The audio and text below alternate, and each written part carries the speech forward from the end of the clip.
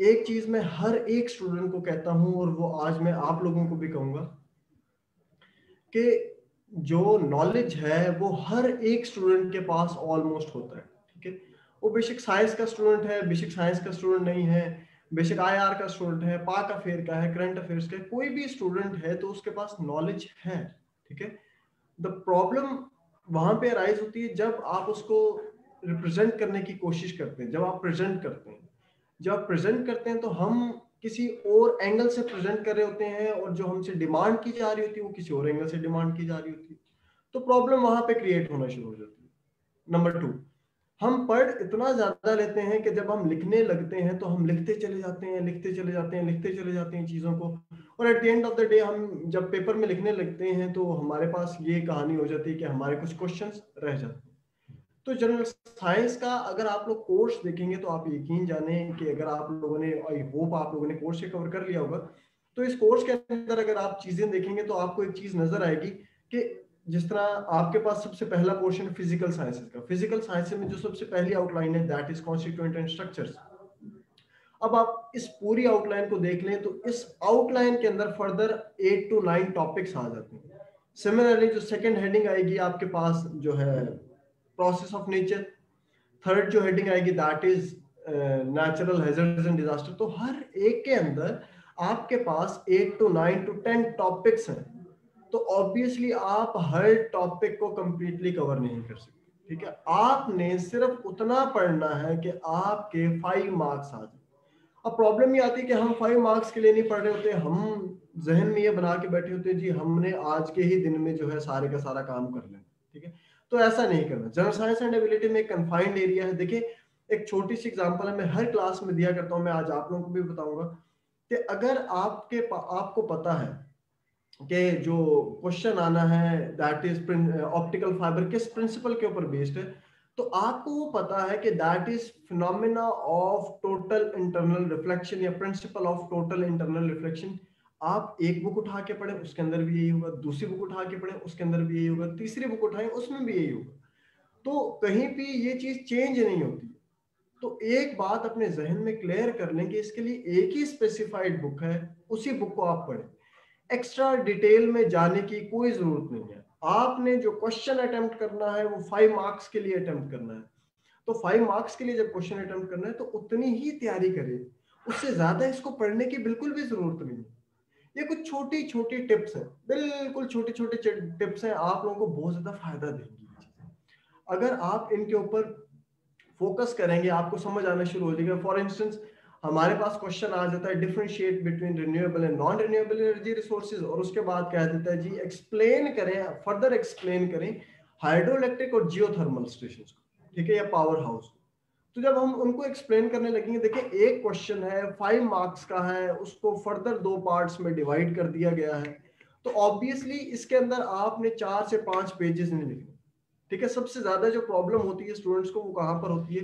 कि जी, हमें पेजेस का नहीं पता कि हमने लेंथ कितनी मेंटेन रखनी है, हमने एक पेज लिखना है, हमने दो पेज लिखने हैं, हमने तीन पेज लिखने हैं। तो इसमें मैं आप लोगों को कुछ छोटी छोटी बातें बताऊँगा, उनको आप लोग नोट डाउन कर लें। ठीक है?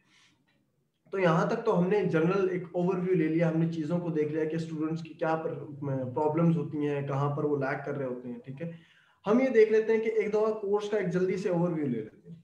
अगर कोर्स को हम डिवाइड करें तो मेजर थ्री एरियाज़ में हम डिवाइड करते हैं। जो सबसे पहला एरिया है दैट इज़ एमसीक्यूज का पोर्शन नंबर टू आपके पास जनरल साइंस का पोर्शन नंबर थ्री आपके पास जनरल एबिलिटी का पोर्शन ये तीन टोटल आपके इंपॉर्टेंट एरिया जो जनरल साइंस का पोर्शन है, उसमें आपके पास चार क्वेश्चन आएँगे, चार में से आपने दो अटेम्प्ट करने होंगे और हर क्वेश्चन के फर्दर आपके पास चार पार्ट्स क्लियर हो गया नंबर टू आपके पास आ जाता है एबिलिटी का पोर्शन एबिलिटी के पोर्शन में आपके पास अगेन 40 मार्क्स का वो आपका पोर्शन और बहुत ही ज़्यादा इंपॉर्टेंट है। ऑब्वियसली बात आप उसको अगर बिल्कुल ठीक अटेम्प्ट करेंगे तो आपको कंप्लीट मार्क्स मिल जाएँगे। अगर आप उसके अंदर कोई चीज़ स्किप कर देंगे या आपका आंसर ठीक नहीं आ रहा, इस तरह की कोई एम्बिग्युइटी क्रिएट हो जाती है तो ऑब्वियसली ये आपको फिर पेपर के पॉइंट ऑफ़ व्यू से मार्क्स के पॉइंट ऑफ़ व्यू से फिर प्रॉब्लम क्रिएट की जाएगी आप लोगों के लिए। तो इसमें छोटी छोटी सी बातें।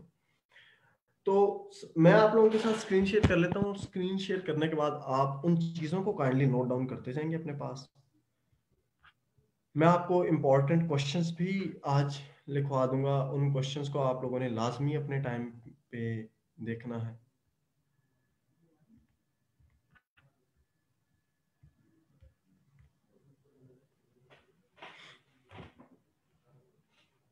देखें। आपके पास जनरल जनरल एरियाज़ हैं जिनको हमने जल्दी जल्दी से देखना है। सबसे पहला है आप लोगों के पास physical sciences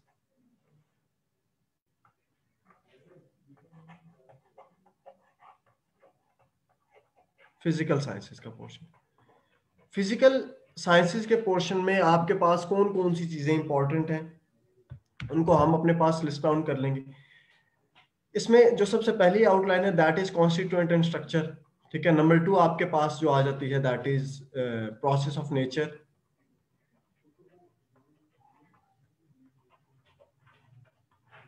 process of nature number three आपके पास आ जाती है नेचुरल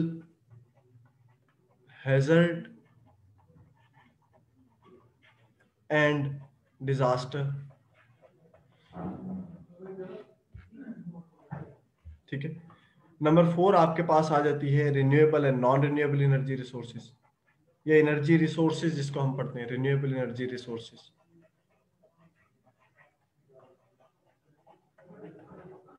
ठीक है? सिमिलरली आपके पास नेक्स्ट आ जाता है दैट इज़ मॉडर्न मटेरियल्स इससे पहले आप लोगों के पास जो है केमिकल बॉन्डिंग है।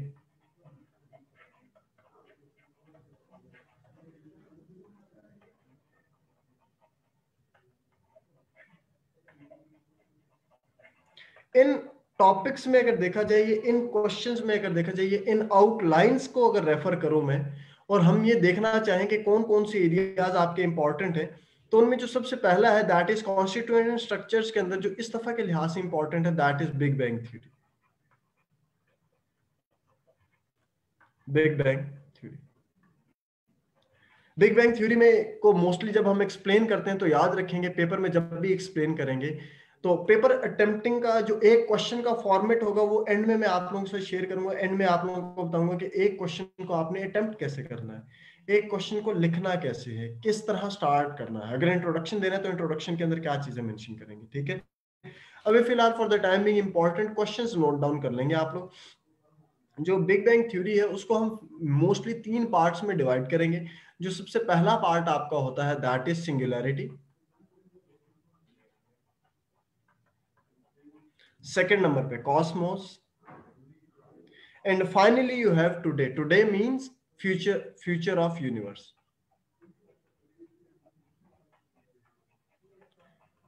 dear students आप लोगों के पास ये तीन मेजर एरियाज़ हैं singularity number two cosmos and number three is future of universe आपने इन तीन चीज़ों के ऊपर फोकस करके बिग बैंग थ्योरी को एक्सप्लेन करना होता ठीक है?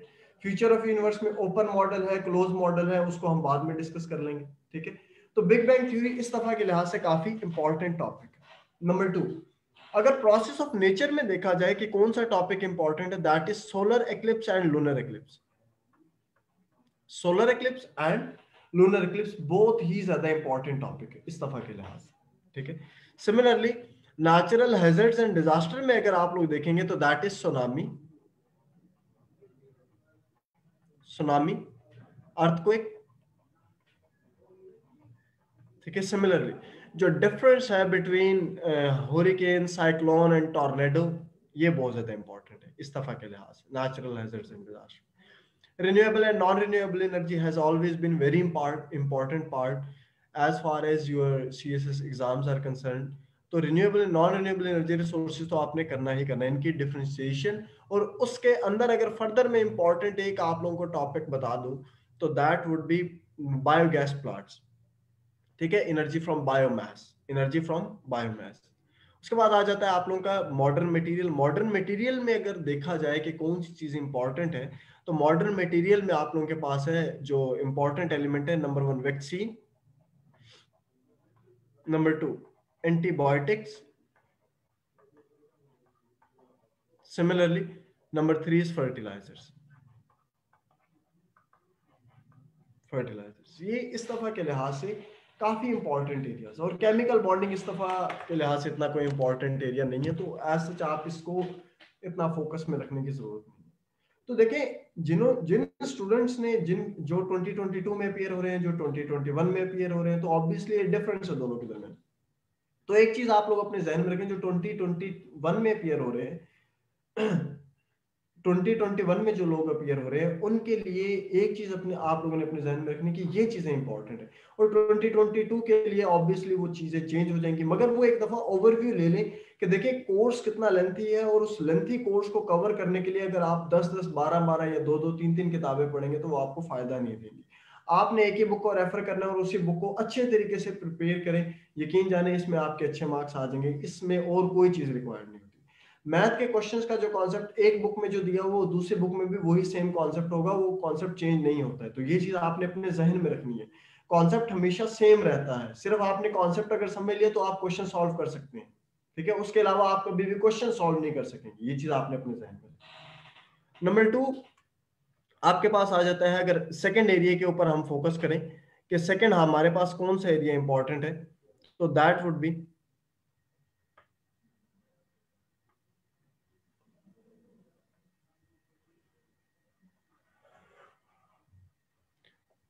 second area की तरफ़ हम मूव करते हैं।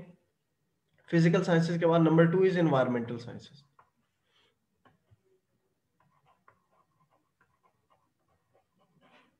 ठीक है सेकेंड वैसे बायोलॉजिकल साइंसेस है। तो हम, क्योंकि आपका एनवायरमेंटल एक इंपॉर्टेंट एरिया है, ठीक है, ये हमेशा से इंपॉर्टेंट है, इसमें से ज़्यादा चीज़ें पूछी जाती हैं इससे हम इन्वायरमेंटल साइंसेस के ऊपर मूव करेंगे। नेक्स्ट आपका एरिया है। इन्वायरमेंटल साइंसेस मैं आपको एंड में एक्सप्लेन करूँगा कि बायोलॉजिकल साइंसेस क्यों इतना ज़्यादा इंपॉर्टेंट नहीं है, ये क्यों मैं उसको एक्सप्लेन नहीं कर रहा। इन्वायरमेंटल साइंसेस इन्वायरमेंटल साइंसेस भी सिमिलरली बिल्कुल सेम चीज़ है।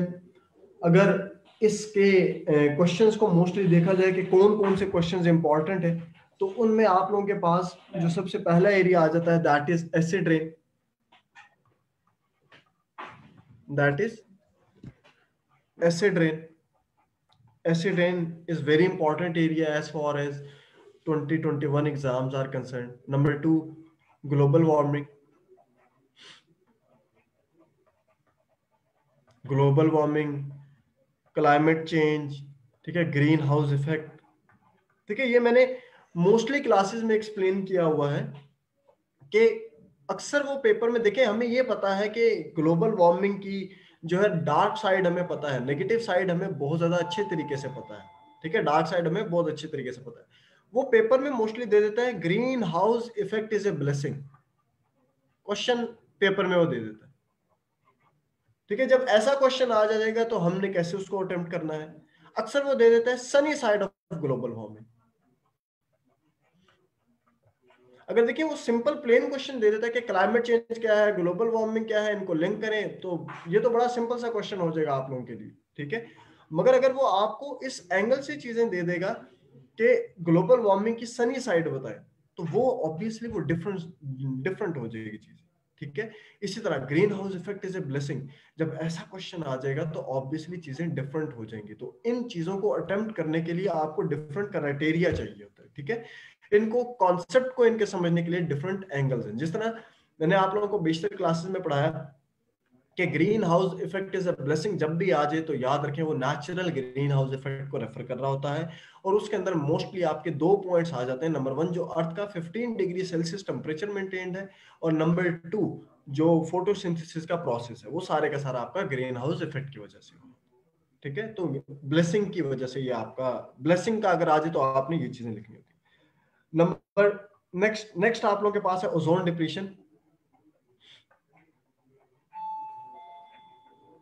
ओजोन डिप्लीशन जिस तरह अगर आप टॉपिक इस टॉपिक को देखें हम, कि ओजोन डिप्लीशन को हम पढ़ने लगे तो अक्सर पेपर पेपर में पूछता है कि what do you understand by the concept of ozone depletion तो इसमें परेशान होने की कोई बात नहीं है, कोशिश करें कि देखें, मैं आप लोगों को आज एक छोटी सी बात बता देता हूँ, जिस सब्जेक्ट के पेपर को आप अटेम्प्ट कर रहे हैं, जिस सब्जेक्ट के भी पेपर को आप अटेम्प्ट कर रहे हैं उस सब्जेक्ट को आपने जब अटेम्प्ट करना है तो उस सब्जेक्ट की लैंग्वेज में अटेम्प्ट करें। हर सब्जेक्ट की एक टेक्निकल लैंग्वेज है। जिस तरह जनरल साइंस एंड एबिलिटी जो है, इसकी एक टेक्निकल लैंग्वेज है। सिमिलरली आप जेंडर स्टडी देखें पाक अफेयर देखें करंट अफेयर देखें, कोई भी आप पेपर उठा के देख लें, एक चीज़ ध्यान में रखें कि हर सब्जेक्ट की उसकी टेक्निकल लैंग्वेज है।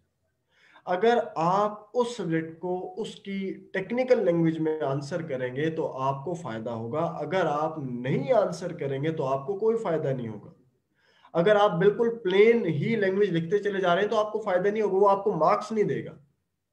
पॉइंट क्लियर हो रहा तो ये चीज़ आपने अपने जहन में रखनी है कि जब भी क्वेश्चन को अटेम्प्ट करना है, उसके, उसकी टेक्निकल लैंग्वेज में अटेम्प्ट करना है। अब फॉर इंस्टेंस ओजोन डिप्रेशन का कॉन्सेप्ट आ जाएगा कि ओजोन डिप्रेशन हो किस रही है तो एक लाइन के अंदर या दो लाइनों में आप इसके मैकेनिज्म या रिएक्शन को एक्सप्लेन कर दें। कि जी, जब सोलर रेडिएशंस फॉल करती हैं सी के ऊपर वहाँ से क्लोरीन का एटम निकलता है, वो क्लोरीन का एटम जब ओजोन के मॉलिक्यूल के साथ इंटरेक्ट करता है तो वहाँ से क्लोरीन मोनोऑक्साइड बनती है। और क्लोरीन मोनोऑक्साइड जब नेसेंट ऑक्सीजन के साथ इंटरेक्ट करेगी तो जिसकी वजह से क्लोरीन का एटम दोबारा आ जाता है और ऑक्सीजन का मॉलिक्यूल सेपरेट हो जाता है। तो इसको दो लाइनों में एक्सप्लेन कर दें यकीन जाने आपको उस एग्जामिनर को क्लैरिटी हो जाएगी कि हाँ भाई, इसको जोन डिप्रेशन का मतलब पता है, इसको समझ है कि बिहाइंड द सीन स्टोरी क्या चल रही है। ठीक है तो उस चीज़ को एक्सप्लेन कर और उसके बाद वो मोस्टली पूछ लेते हैं कि रेमेडियल मेजर्स क्या होते हैं। तो मैंने अक्सर क्लास में बताया रेमेडियल मेजर्स जब भी दे रहे हो तो कोशिश किया करें कि तीन लेवल्स पर जाके उन चीज़ों को स्टडी किया करें। Number one individual number two national और नंबर थ्री इंटरनेशनल इन तीन लेवल्स पर जाके हमेशा कोशिश किया करें रेमेडियल मेजर्स को एक्सप्लेन किया करें। इंडिविजुअल का मतलब यह है कि इंडिविजुअल लेवल पे मैं क्या कर सकता हूँ? पॉइंट क्लियर हो रहा है? मैं जितने भी बॉडी स्प्रेज एरोसॉल स्प्रेज जितने भी यूज़ कर रहा हूँ, इनके यूज़ को मिनिमाइज करूँ। तो इंडिविजुअल लेवल पे मैं ये कर सकता हूँ ताकि ओजोन डिप्लीट ना करे। नेशनल लेवल पे हमेशा क्या होते हैं? नेशनल लेवल पे जब भी बात की जाएगी तो याद रखेंगे पॉलिसीज़ की बात की जाएगी एक्ट की बात की जाएगी रूल्स की बात की जाएगी रेगुलेशंस की बात की जाएगी नेशनल लेवल पे हमेशा, कि लॉज बनाने चाहिए और सिमिलरली इंटरनेशनल लेवल पे जब भी आप बात करेंगे तो हमेशा हम कन्वेंशन की बात करते हैं, कि कौन कौन से कन्वेंशन हुए हैं ओजोन डिप्लीशन के लिए कौन कौन से कन्वेंशन हुए हैं। ओजोन जो डिप्लीट हो रही है, उसको बचाने के लिए प्रिवेंट करने के लिए कौन कौन से कन्वेंशन हुए? तो मॉन्ट्रियल प्रोटोकॉल ठीक है नंबर टू इसी तरह London agreement number three Copenhagen treaty तो ये कौन से हैं? ये कन्वेंशन हैं जो कि इंटरनेशनल लेवल पर हुए। हमेशा इन तीन लेवल्स पे आप इनको डिवाइड करें इंडिविजुअल पे तो आपको अल्टीमेटली आप कोई भी क्वेश्चन अटेम्प्ट करें तो आपको समझ आ जाएगी कि किस, जो है, किस एरिया में कितने रेमेडियल मेजर्स हैं, किस एरिया में कितने रेमेडियल मेजर्स पॉइंट क्लियर हो गया सिमिलरली नेक्स्ट आप लोगों के पास है जो यहाँ से इंपॉर्टेंट है that is clean development mechanism C D M clean development mechanism article 12 of Kyoto protocol जो आर्टिकल 12 है क्योटो प्रोटोकॉल का that is very much important clean development mechanism. Clear Okay. Similarly, water pollution as a whole. ठीक है water pollution as a whole अब problem कहाँ पर आती है? ये चीज़ समझनी है। प्रॉब्लम यहाँ पर आती है, जी, हम जब क्वेश्चन अटेम्प्ट कर रहे होते हैं ना तो वाटर पोल्यूशन हम देखते हैं तो एकदम आप लोगों ने देखा होगा कि पास पेपर्स में क्वेश्चन आया हुआ है। 2017 में आया था गालबन। तो उसमें ये पूछा गया था, जी व्हाट इज़ वाटर पोल्यूशन ठीक है, उसके कॉजेज क्या है? उसके इफेक्ट्स क्या है? तीन चीज़ें होंगी। चौथा नंबर पे पूछा उसने कि इसके मेज़रमेंट मेथड क्या है? और पाँचवें नंबर पे पूछा कि बताएँ कौन से कंट्रीज़ है जिसमें ज़्यादा वाटर पोल्यूशन कौन से कंट्रीज़ ऐसे जिनमें कम वाटर पोल्यूशन तो फाइव मार्क्स का क्वेश्चन है, उसने पाँच चीज़ें डिमांड कर ली। और हम क्या करते हैं? हम पहली दो से तीन चीज़ों को ज़्यादा वेटेज दे देते हैं और बाकियों को इसी तरह छोड़ के रखना शुरू कर तो हर एक चीज़ का डिफरेंट एक एरिया स्पेसिफाइड है। आपने हर एक चीज़ को इक्वल वेटेज दी वो डिफरेंस क्रिएट करे पॉइंट क्लियर हो रहा है? सिमिलरली यहाँ से नेक्स्ट जो टॉपिक इंपॉर्टेंट है that is landfill and incineration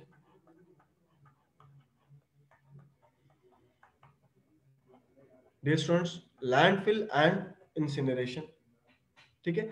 तो ये इन्वायरमेंटल साइंसेस के इंपॉर्टेंट टॉपिक थे और ये फिजिक और फ़िज़िकल साइंसेस के। मैंने दोनों आप लोगों को टॉपिक्स बता दिए कि इन्वायरमेंटल साइंसेस से कौन से टॉपिक इंपॉर्टेंट है और फ़िज़िकल साइंसेस से कौन से इंपॉर्टेंट टॉपिक नेक्स्ट आप लोगों का जो एरिया आ जाता है that is that is food sciences तो फ़ूड साइंसेस आपके पास क्या है? नेक्स्ट एरिया जो हम पढ़ने लगे that is food science food sciences है मैंने अक्सर क्लासेस में भी बताया कि फ़ूड साइंसेस से याद रखेंगे। आप लोगों के पास टोटल फोर क्वेश्चन हैं जो कि हमेशा के लिहाज से इंपॉर्टेंट है। Food sciences number one concept of balance diet number two food preservatives and antioxidants ठीक है? Number three concept of cholesterol with respect to heart attack या कार्डियोवास्कुलर डिज़ीज़ ठीक है? और लास्ट में जो एक टेबल बहुत ज़्यादा इंपॉर्टेंट है और ये मोस्टली स्टूडेंट्स को भी पता होगा कि जितने भी आपके वन पेपर एमसीक्यूज अपीयर होते हैं, उनमें अक्सर आए होते हैं वाइटामिन का एक टेबल है, ठीक है? अगर आप लोग हमारी साइट पर जाए, वहाँ पर मेरी स्लाइड्स मौजूद है सारी की सारी C S P S dot com वहाँ पर जाके जनरल साइंस एंड एबिलिटी की पब्लिकेशन में जाए, वहाँ से मेरी स्लाइड्स डाउनलोड कर लें।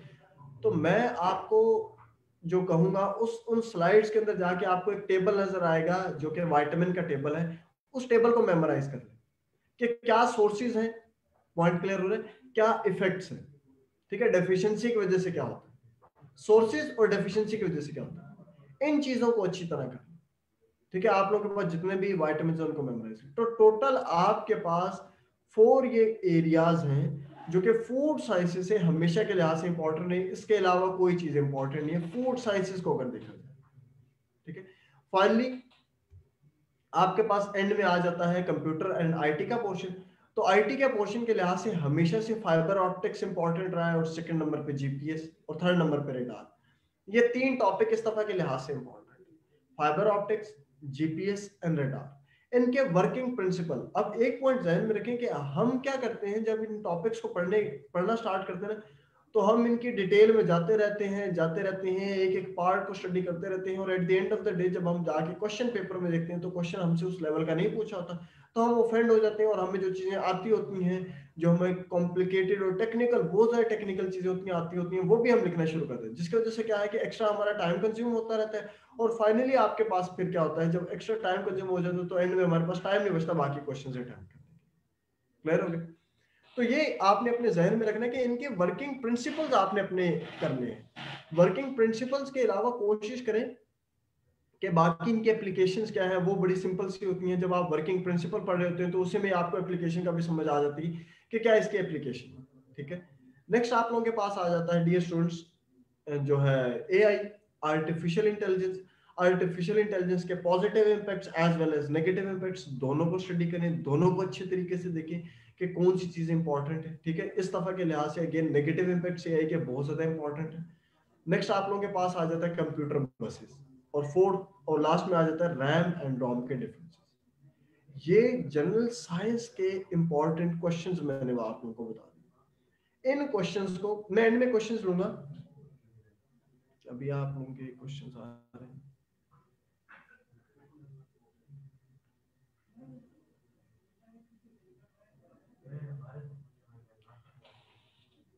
अमार लिंक शेयर कर देंगे मेरा भाई, इंशाल्लाह। ठीक है, आप लोगों के ग्रुप में लिंक शेयर कर दिया जाए। तो जो अगेन ये आपके जनरल साइंस के इंपॉर्टेंट एरियाज़ थे। आपने इनको अच्छे तरीके से करना ठीक है नेक्स्ट नेक्स्ट जो आप लोगों के पास पॉइंट है दैट इज़ बायोलॉजिकल साइंसेस क्यों नहीं इतना पढ़ाया जाता? तो मैं आप लोगों को अगेन बता दूँ, जितना भी आपका बायो का पोर्शन था 2016 से पहले पहले अगर आप 2016 से पहले का एरिया देखेंगे तो उस टाइम ये बहुत ज़्यादा इंपॉर्टेंट एरिया कंसिडर किया जाता है, ठीक है? मगर अब 2016 के बाद इससे इतने ज़्यादा क्वेश्चंस नहीं पूछे जाते। हमेशा से दो क्वेश्चंस इंपॉर्टेंट रहे हैं। एक नंबर वन डिजीजेस डिजीजेस में आप लोगों के पास जो है, ये। डिजीजेस में आप लोगों के पास जो है डेंगी और हेपेटाइटिस ये हम, और पोलियो ये तीन हमेशा से इंपॉर्टेंट रही है। डेंगी हेपेटाइटिस एंड पोलियो ये तीनों डिजीजेस हमेशा से इंपॉर्टेंट रही है। और एक जो बायोलॉजिकल साइंसेस के एंड पे लिखा हुआ है एंड पे आप लोग जाकर देखेंगे तो वहाँ वहाँ पर आपको नज़र आएगा new method for the production of biofuel ये इंपॉर्टेंट ठीक है new method for the production of biofuel ये आपकी जो पॉइंट है, ये अकॉर्डिंग टू कासिम जो कि आपका भाई है या आपका सर है, उसके पॉइंट ऑफ़ व्यू से ये मिसप्लेस है। इसको हमें रिन्यूएबल एनर्जी रिसोर्सेज में प्लेस करना चाहिए। ठीक है? क्योंकि ये अगेन जो एनर्जी प्रोडक्शन का मैकेनिज्म है दैट इज़ थ्रू बायोफ्यूल्स तो इस चीज़ को आपने अपने जहन में रखना ठीक है? इसका भी हमेशा से एक ही क्वेश्चन आता है, ठीक है? वो भी आप लोग देख लेंगे अगेन तो ये सारे का सारे जितने भी एरियाज़ मैंने बताए, ये जनरल साइंस के इंपॉर्टेंट एरियाज़ इनको आप लोग अच्छे तरीके से प्रिपेयर कर लेंगे नेक्स्ट आप लोगों के पास आ जाता है जो जनरल एबिलिटी का पोर्शन है, जो मैथ का पोर्शन है, उसके लिहाज से कौन कौन से चीज़ें इंपॉर्टेंट है कौन कौन से क्वेश्चंस इंपॉर्टेंट है तो उनको अगर हम देख लें तो जो मैथ के एरिया में जो सबसे पहले इंपॉर्टेंट एरिया है दैट इज़ नंबर वन इस दफ़ा के लिहाज से पार्टनरशिप और इन्वेस्टमेंट के क्वेश्चन बहुत ज़्यादा इंपॉर्टेंट है। मैं दोबारा बता रहा हूँ पार्टनरशिप एंड इन्वेस्टमेंट के क्वेश्चन इस दफ़ा के लिहाज से बहुत ज़्यादा इंपॉर्टेंट है। ठीक है, कि A invested this amount, B invested this amount after six months, C invested this amount. तो ये जो अमाउंट वाली आपके पास जितनी भी ये जो पार्टनरशिप इन्वेस्टमेंट वाले क्वेश्चन है ये इस दफ़ा के लिहाज से बहुत ज़्यादा इंपॉर्टेंट नंबर टू जो इस दफ़ा के लिहाज से इंपॉर्टेंट है दैट इज़ आप लोगों के पास है एलसीएम एलसीएम के जितने भी क्वेश्चन ठीक है? वर्ड प्रॉब्लम एलसीएम के बहुत ज़्यादा इंपॉर्टेंट ठीक है? नंबर थ्री आप लोगों के पास आ जाते हैं लीनियर इक्वेशंस तो लीनियर इक्वेशन भी इस दफे के लिहाज से बहुत ज़्यादा इंपॉर्टेंट ठीक है? जिस तरह लास्ट टाइम आप लोगों के पास एक क्वेश्चन आया था 2019 में एक क्वेश्चन आया था a farmer keeps hens and rabbit on his farm one day he counted total of 96 heads and 190 uh, 70 heads and 196 legs ठीक है? तो find the number of hens and rabbit तो ये वाला जो क्वेश्चन है दरअसल लीनियर इक्वेशंस का क्वेश्चन ठीक है? तो linear equation again very important topic ठीक है? इसी तरह आप लोग एलसीएम से अगर क्वेश्चन देखेंगे तो आप लोगों को पेपर में नज़र आएगा Moiz was trying to sleep one night तो ये आपका 2019 में क्वेश्चन ये अपीयर हुआ ठीक है? 20 में 2020 में क्वेश्चन अपीयर नहीं हुआ तो 2021 में अगेन ये क्वेश्चन अपीयर होने के चांसेस नेक्स्ट नेक्स्ट जो आप लोगों के पास area that is very much important that is central tendency ठीक है? सेंट्रल टेंडेंसी सेंट्रल टेंडेंसी के अंदर आपके पास क्या है? हिस्टोग्राम ठीक है? पिक्टोग्राम ठीक है? मगर सेंट्रल टेंडेंसी को जब वो एक्सप्लेन करने को कहता है पेपर में आप लोगों के लिए तो आपने सिर्फ़ तीन चीज़ों को लिखना होता है number one mean median and mode इन तीन चीज़ों को आप लिखते हैं। मीन मीडियन एंड मॉन इन तीन चीज़ों को आप सेंट्रल टेंडेंसी में एक्सप्लेन करते हैं। और हमेशा पेपर में जब भी वो आपको ग्रुप डाटा के फॉर्म में अगर कोई डाटा दे देता है और उसको कहता है फ्रीक्वेंसी टेबल बनाए इसका तो फ्रीक्वेंसी टेबल बनाने के लिए आप क्या करते हैं कि उसको फिर अरेंज करते हैं, फिर क्लास इंटरवल सेलेक्ट करते हैं, फिर फ्रीक्वेंसी चेक करते हैं और उसी से ही मोस्टली हमें पेपर में ये कह दिया जाता है कि जी हिस्टोग्राम भी ड्रॉ करके दिखाए। तो हिस्टोग्राम जब ड्रॉ करने के लिए कह दी जाएगी तो हमेशा देखेंगे उसी फ्रीक्वेंसी टेबल को यूज़ करते हुए आप हिस्टोग्राम ड्रॉ करें। ठीक है छोटी छोटी चीज़ें जो कि बड़ी इंपॉर्टेंट है। नेक्स्ट नेक्स्ट जो एरिया आप लोग के पास इस तरह के लिहाज से इंपॉर्टेंट है दैट इज़ परसेंटेज रिलेटेड जितने भी क्वेश्चन है आप लोगों के प्रॉफिट लॉस के जो क्वेश्चन है। ठीक है, इस दफ़ा के लिहाज से इंपॉर्टेंट ठीक है। नेक्स्ट आप लोगों के पास जो important area that is set theory ठीक है? A union B intersection B again very easy portion ठीक है? और फाइनली आपके पास आखिर में आ जाती है एक चीज़ दैट इज़ एनालिटिकल पोर्शन अगर आप लोग सी एस पी एस की साइट पर जाएँगे, वहाँ पर एंड में जाके जब मेरी सारी की सारी स्लाइड्स खत्म हो जाती हैं तो एंड में जाके आप लोगों को एक मैथ का छोटा सा पोर्शन नज़र आएगा।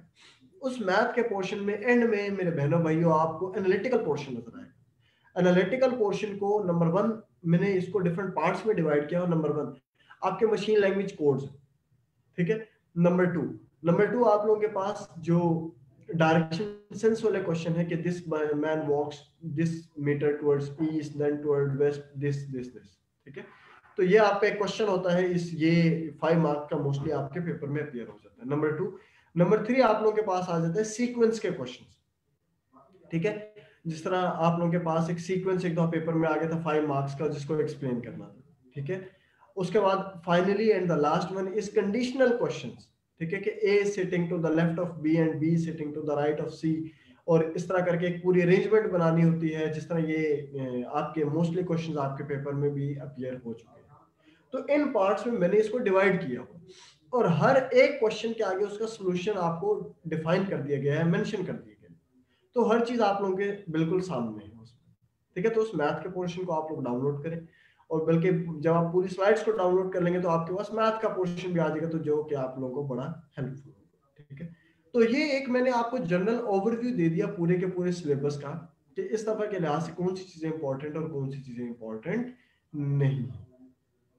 अब हम एक क्वेश्चन को अटेम्प्ट करने का तरीका देख लेते हैं। कि कोई भी क्वेश्चन जब हमने अटेम्प्ट करना है तो उसको कैसे अटेम्प्ट करना है? किन किन चीज़ों को आपने अपने जहन में रखना तो सबसे पहले आप लोगों ने ये चीज़ अपने जहन में रखनी है कि जो भी क्वेश्चन आप अटेम्प्ट करेंगे, उसके लिए प्रॉपर इंट्रोडक्शन होगा और proper conclusion provide start with proper introduction and proper conclusion introduction के अंदर अगेन आप लोगों को समझ है इस चीज़ की कि जो भी चीज़ डिमांड की गई है, उसकी एक किस्म की जिस्ट आप बना के या जो आप एक्सप्लेन करने जा रहे हैं अपने पूरे के पूरे टॉपिक के अंदर, उसको लिख देंगे और इंट्रोडक्शन आपका दो से तीन तीन तीन एक लाइंस का होगा, इससे ज़्यादा लाइंस का नहीं लिखेंगे आप similarly same goes for goes for conclusion conclusion भी आप इतने का ही रखेंगे, इससे ज़्यादा का आप कंक्लूजन नहीं रखेंगे। ठीक है? नेक्स्ट आ जाता है कि इसके सेंटर में क्या लिखना जनरल साइंस एंड एबिलिटी के क्वेश्चंस को अटेम्प्ट कैसे करना है? ठीक है? नंबर वन आप कोशिश ये करेंगे कि मैक्सिमम नंबर ऑफ़ हेडिंग्स को यूटिलाइज करें। मैक्सिमम नंबर ऑफ़ हेडिंग्स को क्या करेंगे? यूटिलाइज करें। जितनी हेडिंग्स यूटिलाइज कर सकते हैं। और हेडिंग्स आपकी प्लेन हेडिंग्स नहीं होनी चाहिए, ठीक है? जैसे आप लोग हेडिंग देते हैं हार्मफुल इम्पैक्ट्स ठीक है? रेमेडियल मेजर्स ये बड़ी प्लेन सी हेडिंग है। कोशिश करें कि आपकी जो हेडिंग हो that should be comprehensive in nature ये हमेशा से मैं हर क्लास में बताता हूँ कि हेडिंग आपकी कॉम्प्रिहेंसिव होनी चाहिए, ठीक है? हेडिंग पढ़ के ही समझ आना आ जाना चाहिए एग्जामिनर को कि आप अपने पैराग्राफ के अंदर किस चीज़ को एक्सप्लेन करने जा रहे हैं और किस चीज़ को आप वेटेज देने जा रहे हैं। ठीक है तो कॉम्प्रिहेंसिव हेडिंग होनी चाहिए। कॉम्प्रिहेंसिव हेडिंग के ऊपर फोकस करें। ठीक है नंबर टू कोशिश करें जनरल साइंस एंड एबिलिटी के हर क्वेश्चन के अंदर लाजमी तौर पे एक डायग्राम बनाए। कोशिश करेंगे जनरल साइंस एंड एबिलिटी के हर क्वेश्चन के अंदर लाजमी तौर पे एक डायग्राम बनाएँगे डायग्राम नहीं तो फ्लो चार्ट आप लाजमी बनाएँगे ठीक है? मैंने आप लोगों को तीन चीज़ें बता दी। Number one proper introduction proper conclusion number two आप लोग हेडिंग्स का हेडिंग्स को यूटिलाइज करेंगे, आप फ्लो चार्ट्स को यूटिलाइज करेंगे। ठीक है? हर क्वेश्चन के अंदर यूटिलाइज करेंगे। और नंबर थ्री आपसे जो चीज़ डिमांड की गई है, उसको आप एक्सप्लेन करेंगे in the form of headings ठीक है? बुलेट फॉर्म फॉर्म में या बुलेट पॉइंट में जो लोग आंसर लिखते हैं, वो एक्सेप्टेबल नहीं है। ठीक है, कोशिश करेंगे पूरे के पूरे सेंटेंसेस के फॉर्म में आंसर्स लिखेंगे ठीक है? फ्लो चार्ट्स बनाए, ज़्यादा से ज़्यादा यकीन जाने आपके जो मार्क्स होंगे, वो बाकी की, बाकी लोगों के नस्बत बहुत ज़्यादा डिफरेंस क्रिएट करेंगे। ठीक है? तो ये आप लोगों का जो एक किस्म का ओवरऑल मैंने आप लोगों को एक ओवरव्यू दे दिया कि पाक अफेयर्स में क्या चीज़ इंपॉर्टेंट है। No sorry general science and ability में आप लोगों के पास जनरल साइंस के कौन कौन से एरियाज़ इंपॉर्टेंट है? एंड जनरल एबिलिटी के कौन कौन से इंपॉर्टेंट इन दोनों को हमने ब्रीफली डिस्कस कर लिया और इन चीज़ों को हमने देख लिया कि कौन सी चीज़ें इंपॉर्टेंट थी, कौन सी ठीक है? अब मुझे बताएँ, अगर किसी का कोई क्वेश्चन है तो मुझसे पूछ। जी। हैंड रेज करें और उसके बाद मुझसे क्वेश्चन पूछ।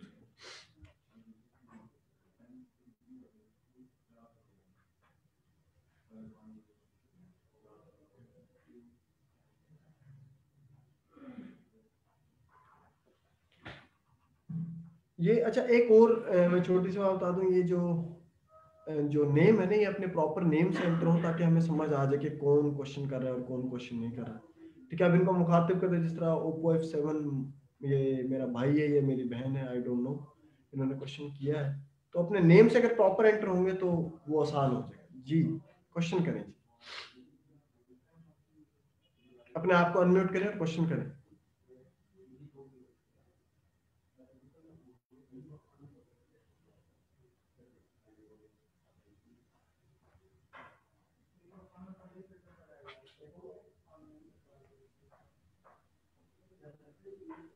जी आपकी आवाज़ नहीं आ रही है।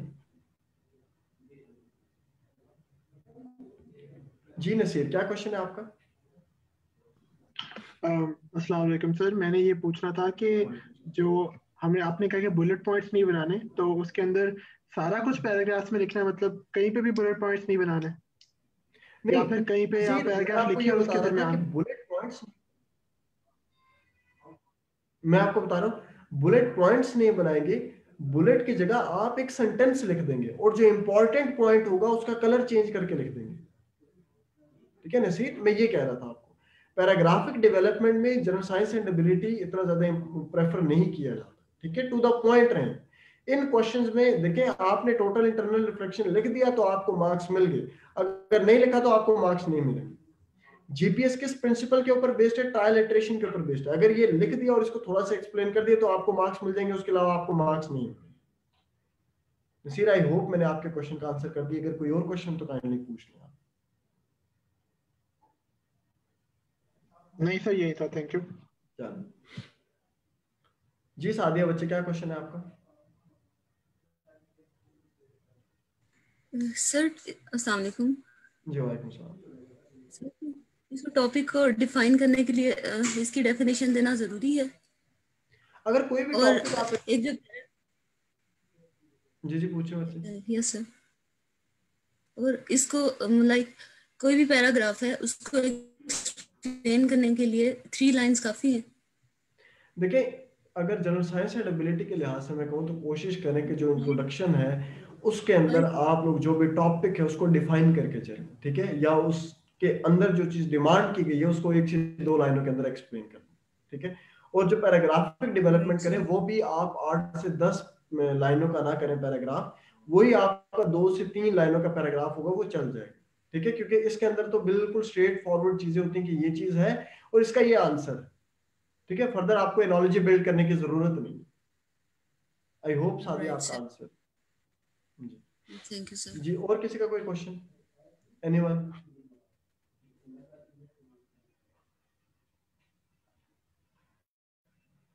जी एनीवन किसी का कोई क्वेश्चन है?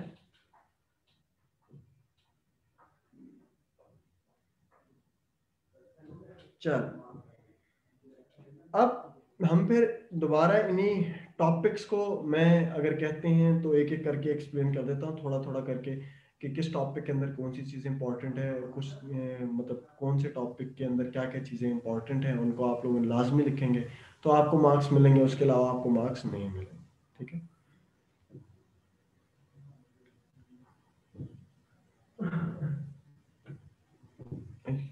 ओ, आप लोगों के कुछ कुछ क्वेश्चन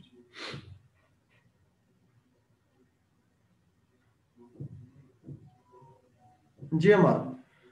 अमार, हम, रिजवान, हम कोशिश करते हैं बिग बैंग थ्योरी को एक्सप्लेन करने की।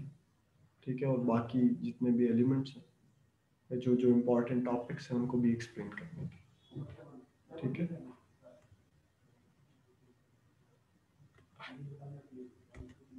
जी, आप में से कोई क्वेश्चन है।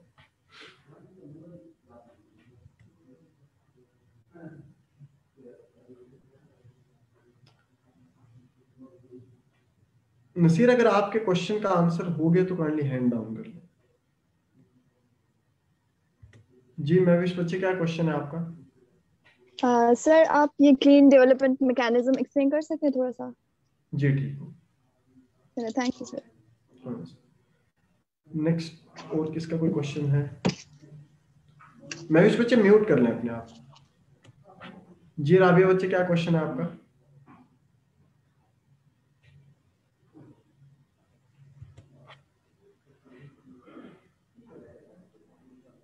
वालेकुम सर। जी वालेकुम सर काइंडली मैथ्स का भी थोड़ा सा एक बार ओवरव्यू दे देंगे? एलसीएम रेशियो प्रोपोर्शन और वर्ड प्रॉब्लम्स क्योंकि वो काफ़ी कंफ्यूजिंग हो जाती हैं सर। हम्म। उनको हम इस तरह कर लेते हैं कि फिर जो पास्ट पेपर्स है ना उनसे एक्सप्लेन कर लेंगे। हर क्वेश्चन को ना पास्ट पेपर को देख लेंगे और पास्ट पेपर में देखेंगे एलसीएम के कौन कौन से क्वेश्चन आए हैं। उनके लिहाज से हम क्वेश्चंस को बता देंगे कि देखें इन जो एलसीएम के क्वेश्चंस हैं उनकी निशानी क्या है उनको कैसे करना है जो लीनियर इक्वेशंस हैं उनको कैसे करना है जो रेशियो एंड प्रोपोर्शन में कंपाउंड रेशियो जैसे कि दफ- अ, मैं एक टॉपिक बताना भूल गया compound ratio is again very important topic तो उसको भी हम देख लेंगे। ठीक है तो मैं उन क्वेश्चन के लिहाज से आप लोगों को करवा दूँगा। थैंक यू सर चलो मुझे जी पाँच मिनट लें पाँच मिनट बाद हम स्टार्ट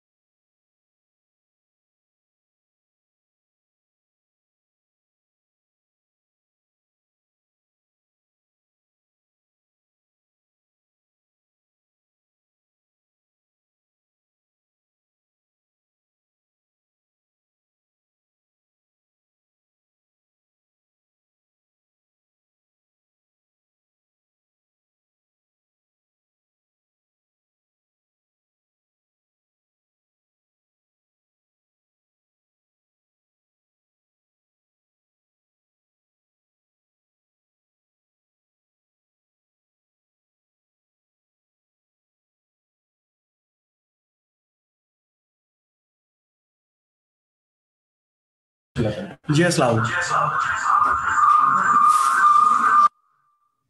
अगेन हम यहीं से दोबारा स्टार्ट करेंगे।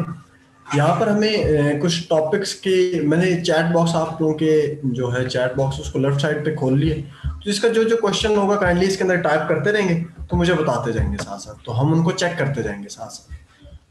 तो आप लोगों के पास जो एक इंपॉर्टेंट एरिया जो कि स्टूडेंट्स ने मुझे कहा एक्सप्लेन करने के लिए that is big bang theory इसको मैंने आप लोगों को बताया कि इसको आपने जब एक्सप्लेन करना है, इसको तीन एरियाज़ पे जाके एक्सप्लेन करना है, तीन एंगल्स में एक्सप्लेन करना है, तीन लेवल्स पे जाके एक्सप्लेन करना है। Number one singularity number two cosmos and number three today today means future of universe मैंने ये आप लोगों को पहले ही बता दिया। फ्यूचर ऑफ़ यूनिवर्स ठीक है? हम इन तीन लेवल्स पे जाके इसको डिस्कस करेंगे। Singularity cosmos and today singularity का मतलब क्या है कि entire universe was inside a bubble और सडनली अक्सर, जिस तरह ये मेरी स्लाइड्स में भी देखें लिखा हुआ एक्सप्लोजन ये एक्सप्लोजन नहीं है। दरअसल ये आपकी एक्सपेंशन है। एक्सपेंशन एक्सपेंशन कौन सी होती है जिसको हम पढ़ते हैं? Accelerated expansion there was accelerated expansion ठीक है? एक्सेलरेटेड एक्सपेंशन हुई थी। ठीक है? सिंगुलैरिटी में तो हम ये सारे लिख देंगे। कि entire universe was inside a bubble फिर क्या होती है? जो है एक्सेलरेटेड एक्सपेंशन होती है। एक्सेलरेटेड एक्सपेंशन होने के बाद मैटर एंड एंटी मैटर की फॉर्मेशन होती है। फाइनली वो अपने आप को डिस्ट्रॉय करते हैं। फिर फॉर्मेशन ऑफ़ हाइड्रोजन एटम होता है और उसके बाद हीलियम एटम बन जाता है और finally formation of other celestial bodies ठीक है? ये आपका जो कॉस्मोज है। कॉस्मोज का मतलब क्या है? पहले इस चीज़ को समझ लें। अगर आप उसकी डेफिनेशन को देखें कॉस्मोलॉजी है क्या एस्ट्रोनॉमी कॉस्मोलॉजी और एस्ट्रोलॉजी तो कॉस्मोलॉजी आपके पास क्या होती है? जिसके अंदर ये आपका जितना भी आपके यूनिवर्स का मैटर है, जितनी भी आपकी एनर्जी है, उसके एवोल्यूशन के बारे में, उसकी एनर्जी ओरिजिन के बारे में, उसके स्ट्रक्चर के बारे में, जिस ब्रांच ऑफ़ साइंस में पढ़ा जाता है, उसको कॉस्मोलॉजी पढ़ते हैं। तो यूनिवर्स के एवोल्यूशन के बारे में ओरिजिन के बारे में स्ट्रक्चर के बारे में, जिस ब्रांच में हम पढ़ते हैं, उसको हम क्या पढ़ते हैं? कॉस्मोलॉजी तो यहाँ पर दरअसल हम अपने जितने भी हमारा यूनिवर्स है, उसके ओरिजिन के बारे में चेक कर रहे हैं, उसके स्ट्रक्चर के बारे में चेक कर रहे हैं, उसके फ़ंक्शन के बारे में चेक कर रहे हैं तो कॉस्मोलॉजी कहलाएगा तो कॉस्मोलॉजी आपके पास ये होता है। और फाइनली आ जाता है टुडे टुडे को जब भी एक्सप्लेन करते हैं तो इसको आप लोगों ने एक्सप्लेन करना है फ्यूचर ऑफ़ यूनिवर्स हमेशा। कि फ्यूचर ऑफ़ यूनिवर्स ओपन है या क्लोज्ड है? मोस्टली ये दो मॉडल्स हैं। Number one future of universe is open and the other one is future of universe is close तो एक चीज़ बड़े ध्यान से देख लें कि फ्यूचर ऑफ़ यूनिवर्स ओपन है या क्लोज क्लोज वाला क्या कहता है और ओपन वाले जो स्कूल ऑफ़ थॉट है, वो क्या एक्सप्लेन जो क्लोज वाला स्कूल ऑफ़ थॉट है कि future of universe is close इसका मतलब ये कि ग्रेविटी अट्रैक्ट करती है चीज़ों को। ग्रेविटी क्या करती है? अट्रैक्ट करती है चीज़ों को। ठीक है? हमारे यूनिवर्स में फोर्स ऑफ़ अट्रैक्शन प्रेजेंट है ना? तो ग्रेविटी के अट्रैक्शन की वजह से ऑब्जेक्ट एक दूसरे के टुवर्ड मूव कर रहे हैं, जिसकी वजह से क्या है? एक टाइम आएगा, वो एक दूसरे के साथ बिल्कुल एक पॉइंट पर आके, देखिए इस तरह एक पॉइंट पर आके वो सारे के सारे क्या हो जाएँगे? कन्वर्ज हो जाएँगे और सारे का सारा सिस्टम क्या कर जाएगा? कोलैप्स कर जाएगा। पॉइंट क्लियर हो गया। और दूसरा ये है close future of universe is close और दूसरा future of universe is open open का मतलब क्या होता है कि देखिए आइंस्टाइन ने ये कहा था कि हमारे यूनिवर्स में एक और फोर्स प्रेजेंट है जो कि काउंटर करती है फोर्स ऑफ़ ग्रेविटी देखिए ग्रेविटी का क्या काम है? जिसने दो ऑब्जेक्ट्स को एक दूसरे के टुवर्ड मूव करना है। क्योंकि ये फोर्स काउंटर कर रही है फोर्स ऑफ़ ग्रेविटी को, इसका मतलब यह है कि ऑब्जेक्ट को ये दूसरे, एक दूसरे से कहा मूव कराएगी? अवे मूव कराएगी। पॉइंट क्लियर हो गया। तो ये इस कॉन्सेप्ट में क्या कहा गया था कि ऑब्जेक्ट एक दूसरे से अवे मूव कर रहे हैं, जिसकी वजह से हमारा यूनिवर्स क्या कर रहा है? एक्सपैंड कर रहा है। हमारा यूनिवर्स क्या कर रहा है जी? एक्सपैंड कर रहा है। पॉइंट क्लियर हो गया। तो इसके अंदर जो ये बात आप समझनी है, इस चीज़ को आपने जब एक्सप्लेन करना है तो याद रखेंगे डार्क एनर्जी के थ्रू एक्सप्लेन करेंगे। इस कॉन्सेप्ट को जब आप एक्सप्लेन करेंगे ना तो डार्क एनर्जी के थ्रू कॉन्सेप्ट के थ्रू एक्सप्लेन करेंगे। कि डार्क एनर्जी की जो पहले वैल्यू कैलकुलेट की गई दैट वाज 68 परसेंट और अब जो कैलकुलेट की गई 71.4 परसेंट है। तो इट मींस डार्क एनर्जी की वैल्यू इंक्रीज कर रही है। और डार्क एनर्जी के बारे में अगर किसी को नहीं पता तो dark energy is the property of empty spaces ठीक है? Dark energy is the property of empty spaces तो ऑब्जेक्ट जब एक दूसरे से अवे मूव करेंगे तो उतनी ही ज़्यादा, देखिए पहले ये दो ऑब्जेक्ट एक दूसरे के करीब थे। जब ये एक दूसरे से अवे मूव करेंगे तो ऑब्वियसली एम्प्टी स्पेसेस क्रिएट होंगे। और ज़्यादा अवे मूव करेंगे तो और ज़्यादा एम्प्टी स्पेसेस क्रिएट होंगे। तो जितनी एम्प्टी स्पेसेस ज़्यादा क्रिएट होंगी, उतने ही ऑब्जेक्ट एक दूसरे से अवे मूव करेंगे और इसका मतलब है उतनी ही डार्क एनर्जी की वैल्यू इंक्रीज करेगी। और इसका मतलब क्या होगा? फाइनली एंड अल्टीमेटली हमारा future of universe is open point clear हो गया कि हमारा फ्यूचर हमारा यूनिवर्स क्या कर रहा है? एक्सपैंडिंग इन नेचर एक्सपैंड कर रहा है। ठीक है? तो हम इसको तीन लेवल्स पे जो है डिस्क्राइब करेंगे। Singularity cosmos and future of universe singularity में हमने बता दिया कि entire universe was inside a bubble Haseeb? Entire universe was inside a bubble cosmos में हमने ये बता दिया कि इसका ओरिजिन क्या है? ये बना कहाँ से? ये आया कहाँ से है? पॉइंट क्लियर हो गया? तो हमने बताया कि फॉर्मेशन ऑफ़ कूलिंग हुई formation of matter and antimatter हुए, उन्होंने एक दूसरे को एनाइलेट कर दिया। इनहेलेशन के बाद आपके पास हाइड्रोजन एटम की फॉर्मेशन हुई हीलियम एटम की फॉर्मेशन हुई, और बाकी सेलेस्टियल ऑब्जेक्ट्स की फॉर्मेशन होगी और जो सबसे ज़्यादा इंपॉर्टेंट है that is future of universe अक्सर पेपर में डायरेक्टली पूछ लिया जाता है कि फ्यूचर ऑफ़ यूनिवर्स को एक्सप्लेन करें। ठीक है तो फ्यूचर ऑफ़ यूनिवर्स हमेशा याद रखना मैंने शुरू में आप लोगों को बताया था कि हर सब्जेक्ट की अपनी टेक्निकल लैंग्वेज है। जनरल साइंस में हर क्वेश्चन की अपनी टेक्निकल लैंग्वेज है। जिस तरह फ़िज़िकल साइंसेज वाले जो क्वेश्चन है, उनकी अपनी टेक्निकल लैंग्वेज है। जो इन्वायरमेंटल साइंसेज वाले क्वेश्चन उनकी अपनी टेक्निकल लैंग्वेज है। जब आप इन्वायरमेंटल साइंसेस के क्वेश्चंस को अटेम्प्ट कर रहे हैं तो इन्वायरमेंटल क्वेश्चन जब भी आ जाए तो आप जितने भी देखें, एक छोटी सी बात नोट डाउन करें आप 2016 से लेकर 2020 तक के पेपर चेक कर लें और उनमें चेक करें कि जो आपके एटमॉस्फेरिक पोल्यूशन के अंदर पोल्यूटेंट जो गिवन है that is COX SOX NOX particulate matter tropospheric ozone dioxin ठीक है? ये आपके जितने भी दिए हुए इनसे कितने क्वेश्चन आए ठीक है, इनसे कोई क्वेश्चन आपका पेपर में पूछा गया। ठीक है? मगर अगेन तो इनका पढ़ने का फ़ायदा क्या होता है? ये पॉइंट समझने के, इनको हमने फिर पढ़ना क्यों? देखें, जब वो आपको ऐसे ड्रेन कहता है ना एक्सप्लेन करने के लिए, जब वो आपको कहता है ग्रीन हाउस गैसेज एक्सप्लेन करें, जब वो आपको कहता है कि ओजोन डिप्रेशन को एक्सप्लेन करें तो उस टाइम पर जब आप एक्सप्लेन करेंगे चीज़ों को तो with the help of these pollutant explain करेंगे। आप बताएँगे कि आप ऐसे ड्रेन के कॉन्सेप्ट को उस टाइम तक नहीं समझ सकते, जब तक हम इन तीन सीओ एक्स एसओ एक्स और एनओ एक्स को नहीं समझ लेते। पॉइंट क्लियर हो रहा है? सिमिलरली आप नेक्स्ट मूव करेंगे ग्रीन हाउस गैसेस को जब एक्सप्लेन करेंगे तो सिमिलरली पोलूटेंट्स का आप रेफरेंस देंगे। जब तक आप पोलूटेंट्स का रेफरेंस नहीं देंगे तो आपको पेपर में मार्क्स नहीं मिलेंगे। सिमिलरली जब बिग बैंग थ्योरी को एक्सप्लेन कर रहे हैं हम तो हम डार्क जब फ्यूचर ऑफ़ यूनिवर्स को एक्सप्लेन करें तो हम डार्क एनर्जी का रेफरेंस नहीं देंगे तो हमारा क्वेश्चन इनकम्प्लीट होगा। हमने उस चीज़ को एक्सप्लेन ही नहीं किया। ठीक है? ये हमने एक डायग्राम देखी है। ये हमारे पास एक डायग्राम है जो कि हमें समझ आती है कि देखें, ये हमारे यूनिवर्स एक ऑब्जेक्ट एक दूसरे से अवे मूव कर रहे हैं। जब वो अवे मूव कर रहे हैं तो एक्सपैंड कर रहा है हमारा यूनिवर्स हमारा future of universe is open it is not close ये चीज़ जहन में रखेंगे आप। Future of universe is open ठीक है? So this this was big bang theory ठीक है? अगेन आप स्टार्ट करेंगे प्रॉपर इंट्रोडक्शन से। बिग बैंग थ्योरी के एक बारे में एक्सप्लेन करेंगे और खुदा का वास्ता है पेपर में एक्सप्लोजन नहीं लिखेंगे। It was accelerated expansion it was accelerated expansion ये मैं बता रहा हूँ आपको, ठीक है? आप अगेन उसके अंदर जो इंट्रोडक्शन होगा, उसमें बता देंगे कि हम इन तीन बेसिस के ऊपर इसको एक्सप्लेन करेंगे, ठीक है? Singularity cosmos and future of universe उसके बाद फिर आप डायरेक्टली इन तीन हेडिंग्स को एक्सप्लेन करेंगे। और फाइनली फिर जब क्या कहते हैं कंक्लूजन लिख रहे होंगे तो कंक्लूजन में हम बता देंगे कि हमारा फ्यूचर ऑफ़ यूनिवर्स पहले हम डिस्कस कर चुके होंगे फ्यूचर ऑफ़ यूनिवर्स को, मगर हम बता देंगे जो ज़्यादा एप्लीकेबल है दैट इज़ ओपन मॉडल क्यों? क्योंकि आइंस्टाइन का जो कॉन्सेप्ट था डार्क एनर्जी से रिलेटेड ठीक है? अगर आप लोग मेरी स्लाइड्स डाउनलोड करेंगे तो आप लोगों को ये सारे के सारे कॉन्सेप्ट इसके अंदर नज़र आ जाएँगे ठीक है? तो कॉम्पोजिशन ऑफ़ यूनिवर्स के अंदर dark energy and dark matter ठीक है? दिस इज़ डार्क मैटर ठीक है? और उसके बाद डार्क एनर्जी ठीक है? Ideas to explain dark energy ये सारी की सारी चीज़ें उसके अंदर आपको मिल जाएगी।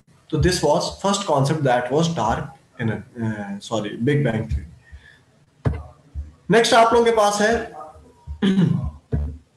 जो मुझे कहा गया एक्सप्लेन करेंगे that is clean development mechanism Kyoto protocol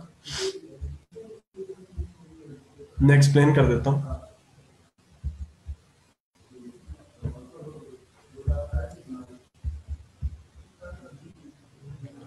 again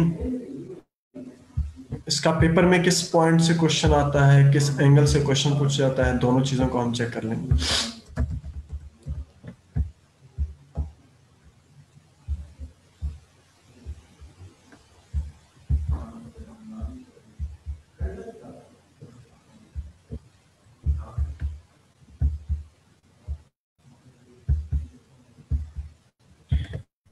So this is at Kyoto protocol और क्योटो प्रोटोकॉल का जो आर्टिकल सिक्स है that is joint implementation similarly article twelve जो आपके पास है that is clean development mechanism और आर्टिकल सेवनटीन जो है आपके पास final and the last one is that is international emission trading ठीक है? ये आपके पास तीन जो है एरियाज़ हम सबसे पहले एरिया को देख लेते हैं दैट इज़ जॉइंट इंप्लीमेंटेशन इसको मैं एक्सप्लेन कर रहा हूँ, इसको ध्यान से समझ लेंगे। जब ये समझ आ जाएगा तो इसी कॉन्सेप्ट को हम दोबारा समझेंगे आर्टिकल ट्वेल्व के लिए क्लीन डेवलपमेंट मैकेनिज्म देखें ज्वाइंट इंप्लीमेंटेशन जो क्योटो प्रोटोकॉल के अंदर सबसे बड़ा लूप होल है that is common but differentiated responsibility common but differentiated responsibility अब इस कॉन्सेप्ट को समझ लें। इस कॉन्सेप्ट को जब भी मैं एक्सप्लेन करता हूँ तो इसको मैं दो लाइंस में या दो एरियाज़ में डिवाइड कर देता हूँ नंबर वन कॉमन रिस्पॉन्सिबिलिटी देखिए, हमारी कॉमन रिस्पॉन्सिबिलिटी तो यह है कि हमने ग्रीन हाउस गैसेस की एमिशंस को रिड्यूस करना है। कॉमन रिस्पॉन्सिबिलिटी क्या है कि ग्रीन हाउस गैसेस की एमिशंस को क्या करना है? हमने रिड्यूस करना है। मगर डिफ्रेंशिएटेड वो कहाँ पर हो जाती हैं, वो वहाँ पे डिफ्रेंशिएटेड हो जाती हैं कि हमने जो रिस्पॉन्सिबिलिटी है, जो निम्बिज्म का कॉन्सेप्ट आया था, जो मेन रिस्पॉन्सिबिलिटी है, वो डेवलप्ड वर्ल्ड के ऊपर डाल दी। कि भाई, हमारी एटमोसफेयर को तो डेवलप्ड वर्ल्ड ने प्लूट किया पॉइंट क्लियर हो रहा है? तो हमारी एटमोसफेयर को जब डेवलप्ड वर्ल्ड ने प्लूट किया है तो मेन रिस्पॉन्सिबल ही वही है। तो इस वजह से डेवलपिंग कंट्रीज़ के ऊपर कोई लाइबिलिटी नहीं आती। ठीक हो गया? अब इसको, इस कॉन्सेप्ट को ध्यान से समझ लें। यहाँ पर आपके पास दो कंट्रीज़ हैं। एक इंडस्ट्रियलाइज कंट्री है, दूसरा भी इंडस्ट्रियलाइज कंट्री ये दो इंडस्ट्रियलाइज कंट्री फॉर इंस्टेंस हम एज्यूम करते हैं कि इस इंडस्ट्रियलाइज कंट्री को टारगेट दिया गया कि आप 100 कार्बन यूनिट्स जो है, वो आप एमिट कर सकते हैं। ठीक है? 100 जो कार्बन के यूनिट्स हैं, वो आप एमिट कर सकते हैं। सिमिलरली इस केस में भी देखा जाए तो इस कंट्री को भी दे दिया गया कि 100 कार्बन दोनों को अगर ज्वाइंटली चेक किया जाएगा तो आपके पास कितने आ जाएँगे? 200 कार्बन यूनिट्स कि दोनों को अगर ज्वाइंटली चेक किए जाएँगे तो ये भी आपके 100 एमिशन कर सकता है, ये भी 100 कार्बन यूनिट्स की मेट्रिक टन की एमिशन कर सकता है, ठीक है? तो मैं आपको बड़े सिंपल लैंग्वेज में समझा रहा हूँ, पहले ताकि इसको समझ आ जाए आप लोगों को। तो दोनों हंड्रेड हंड्रेड कंबाइन करेंगे टू हंड्रेड अब देखिए, होता कुछ इस तरह से है, होता कुछ इस तरह से आप लोगों के पास, कि यहाँ पर ये कंट्री जो है, इसकी एमिशन एक्सीड कर जाती है। फॉर इंस्टेंस ये पहुँच जाती है वन टेन तक। ठीक है, ये वन टेन होगी। इस कंट्री की एमिशन वन टेन होगी। अब होना क्या चाहिए? या तो इसको पेनल्टी पड़े। ठीक है, और सेकंड नंबर पे क्या है? इसके पास सेकंड ऑप्शन क्या है? सेकंड ऑप्शन क्या है? कि ज्वाइंट इंप्लीमेंटेशन को एडॉप्ट कर ले ज्वाइंट इंप्लीमेंटेशन को एडॉप्ट करने का मतलब क्या है? कि ये कंट्री क्या करे? ये किसी दूसरे कंट्री में जाए, किसी दूसरे इंडस्ट्रियलाइज्ड ही कंट्री में जाए। किसी, ये इंडस्ट्रियलाइज कंट्री है, ये किसी दूसरे इंडस्ट्रियलाइज कंट्री में ही जाए। और वहाँ पर जाकर जो इंडस्ट्री लगाए, वो उस इंडस्ट्री में जो एनर्जी जनरेशन का मैकेनिज्म होगा that should be through renewable energy resources that should be through renewable energy resources ठीक है जिसकी वजह से क्या होगा? फॉर इंस्टेंस इसकी एमिशन रिड्यूस होकर 90 पर आ जाती हैं। इसके कम थी एमिशन तो मैक्सिमम जो एमिशन होते हैं वो 90 होती हैं। तो 90 और 110 जब कंबाइन करेंगे तो ये अगेन 200 ही आ जाएगा। वो टोटल जो है, वो सम जो है, वो सेम रहेगा। अब यहाँ से डिफरेंट क्वेश्चंस अराइज होते हैं। लोग अक्सर पूछते हैं स्टूडेंट्स अक्सर पूछते हैं कि भाई ये अपने ही कंट्री में क्यों नहीं रिन्यूएबल एनर्जी रिसोर्सेज के फैक्टर लगा लेते तो अगेन इसके पास ये ऑप्शन है कि अपने ही कंट्री में स्टार्ट में रिन्यूएबल एनर्जी रिसोर्सेज की फैक्ट्री लगा ठीक है इसके पास ये ऑप्शन है। मगर इन केस ये नहीं करता ऐसा तो इसके पास सेकेंड ऑप्शन क्या है? या तो पेनल्टी की तरफ़ जाए ये सेकेंड केस में क्या है कि दूस, किसी दूसरे कंट्री में मगर इसके बाद एक और क्वेश्चन स्टूडेंट्स पूछते हैं कि यार देखो वन टेन इसकी एमिशन हो गई। इसके वन टेन एमिशन हो गई हैं। तो अब अब ये क्यों नहीं अपनी कंट्री में जो है रिन्यूएबल एनर्जी रिसोर्सेज की इंडस्ट्री लगा सकता? ठीक है जो इंडस्ट्री लगाए उसमें जो energy generation that should be through renewable वो अब क्यों नहीं लगा सकता? उसकी वजह क्या? अब ये चीज़ समझ ले। देखिए, इसकी जो एमिशन एक्सीड कर गई है एक लिमिट को, वो तो एक्सीड कर गई है लिमिट को। पॉइंट क्लियर हो गया? वो अब रिवर्स तो नहीं ना हो सकती। ऐसा तो नहीं हो सकता कि वो एमिशन रिवर्स हो जाए। तो इस वजह से इसको किसी दूसरे इंडस्ट्रियलाइज कंट्री में जाना पड़ेगा। ये आर्टिकल सिक्स कहता है। अगर इसी को ही इसी को ही आप चेंज कर दें कि ये इंडस्ट्रियलाइज कंट्री और दूसरा भी इसको डेवलपिंग कंट्री कर दें। ये डेवलपिंग कंट्री कर दें कि industrialize country is investing in developing country host party developing country बन जाता तो ये कौन सा आ जाएगा क्लीन डेवलपमेंट में कहते देखिए स्नैरियो सारा सेम रखें आप लोग।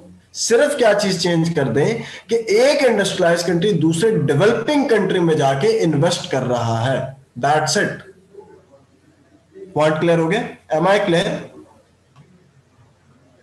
ठीक है तो this was clean development mechanism paper में मोस्टली पूछे जाता है कि क्या इसकी क्रिटिसिज्म है फ्रॉम द डेवलप्ड वर्ल्ड ठीक है तो कौन से डेवलप्ड वर्ल्ड की तरफ़ से कौन से आपके क्रिटिसिज्म है? तो मोस्टली एक क्रिटिसिज्म है जो कि बहुत ज़्यादा इंपॉर्टेंट है कि देखें चाइना अभी तक अपने आप को डेवलपिंग कंट्री कहलवाता है, जिसकी वजह से वो मिशन कर रहा है। ठीक है? जो सीडीएम आर्टिकल है हसीब, वो आपके पास है article twelve article twelve of Kyoto protocol ठीक है? तो ये दो टॉपिक मुझे एक्सप्लेन करने के लिए कहे गए थे. आई होप आप सब लोगों को समझ आ गए होंगे टॉपिक ठीक है? तो अगेन आप लोगों ने इस क्वेश्चन को जब सीडीएम वाला क्वेश्चन आ जाए तो इसको अटेम्प्ट कैसे करना है? अगेन प्रॉपर इंट्रोडक्शन दे. डेवलपिंग कंट्री के ऊपर विंडोज़ टेन साफ़ लाइबिलिटी नहीं ठीक है? क्योंकि हमने शुरू में पढ़ा, जो सबसे बड़ा लूप बोलता that was common but differentiated responsibility common responsibility is on developed world sorry common responsibility ये है कि हमने ग्रीन हाउस गैसेस को रिड्यूस करना है। और डिफ्रेंशिएटेड रिस्पॉन्सिबिलिटी कहाँ से है? कि हमने मेन रिस्पॉन्सिबिलिटी डेवलप्ड वर्ल्ड के ऊपर डाल दी। कि भाई, आप लोगों ने मिशन की है तो आप लोग ही रिड्यूस करेंगे। हम रिड्यूस नहीं करेंगे। डेवलपिंग कंट्रीज़ तो इस चीज़ को इफ़ेक्ट में ही नहीं लेकर आ रहे इस वजह से डेवलपिंग कंट्रीज़ की कोई लाइबिलिटी नहीं। ठीक है? जी, और किसी का कोई क्वेश्चन ठीक है, इसके बाद मुझे कहा गया था कि जो मैथ्स के क्वेश्चन है, उनको थोड़ा सा एक्सप्लेन कर दें। मैं जल्दी जल्दी आप लोगों को मैथ के क्वेश्चन बता देता हूँ। आप लोग देख लेंगे जो भी मैथ्स के क्वेश्चन एलसीएम से रिलेटेड पूछे जाएँगे जो भी मैथ्स के क्वेश्चन एलसीएम से रिलेटेड पूछे जाएँगे, उनमें याद रखेंगे नंबर वन साइमल्टेनियसली उनके अंदर ये वर्ड्स या तो पहली लाइन में या लास्ट लाइन में आपको नज़र आ जाए simultaneously number two same time number three together ठीक है? Together starting same from the same point ठीक है? तारा बच्चे स्क्रीन शो नहीं करवाइएगा अभी। मैं दिखा देता हूँ ठीक है तो इस तरह के आपको क्वेश्चन पेपर में पूछे जाएँगे। ठीक है, हम जल्दी जल्दी इन क्वेश्चंस को चेक कर लेते हैं कि कौन से क्वेश्चन अपियर हुए और उनको हमने कैसे सॉल्व किया।